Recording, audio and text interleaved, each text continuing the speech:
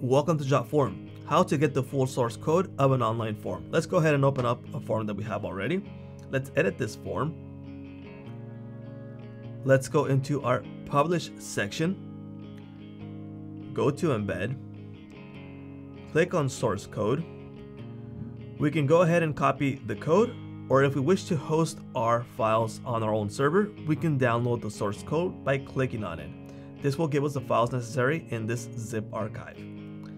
Please be aware that any changes made to the original form, you must update the source code to update the changes that were made. And this is how you have access to the source code. Thank you for watching.